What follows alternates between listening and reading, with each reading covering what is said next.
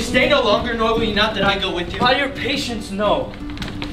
My stars shine darkly over me.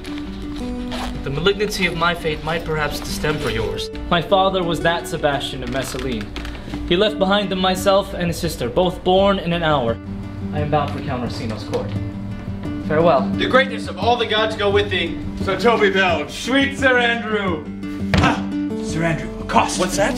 Uh, my niece is chambermaid. Uh, my name is Mary, sir. Uh, good Mistress Mary, accost. To accost is to front her, to board her, to woo her, to assail. My troth, I would not undertake her in this company. Is that the meaning of accost? Methinks sometimes I have no more wit than a Christian has, or an ordinary man. But I'm a great eater of beef, and I think that does harm to my wit. No question. Once more, Cesario, tell her my love, more noble than the world, prizes not quantity. Tis that miracle and queen of gems that nature pranks in her attracts my soul. But if she cannot love you, sir. I cannot be, so answer! Say, my love can give no place, bide no denay. Give me my veil, cutthroat, or my face. We'll once more hear Orsino's embassy. Radiant, exquisite, and unmatchable beauty. I'm a comedian.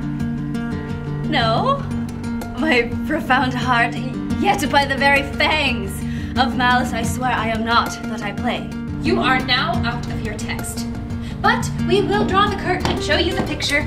Look you, sir, such a one as I was this present. Is it not well done? Excellently done, if God did all. Good view of me. Indeed, so much that methought her eyes did lose her tongue, for she did speak and starts distractedly. She loves me,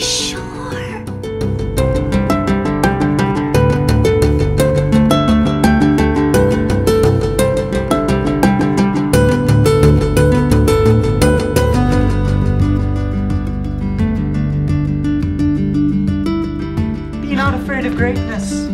Some are born great. Some achieve greatness. And some have greatness thrust upon them.